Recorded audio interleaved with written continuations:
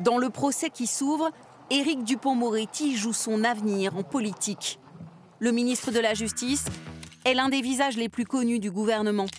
Une renommée acquise en tant qu'avocat pénaliste parmi les plus brillants. Mais aujourd'hui, c'est lui qui doit répondre de ses actes devant la Cour de justice de la République. On l'accuse d'avoir voulu régler ses comptes avec des magistrats en tant que ministre. Avant d'arriver place Vendôme, Éric Dupont-Moretti avait porté plainte contre le parquet national financier suite à l'examen de ses factures téléphoniques. Une fois ministre, il avait lancé une enquête disciplinaire contre ces mêmes magistrats.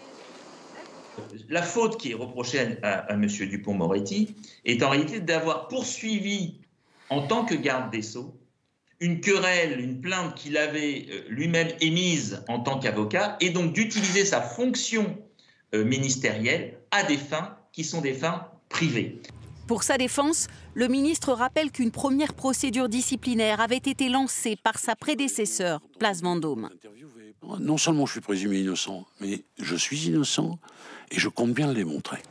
Le procès va durer dix jours, une audience inédite pour un ministre en exercice.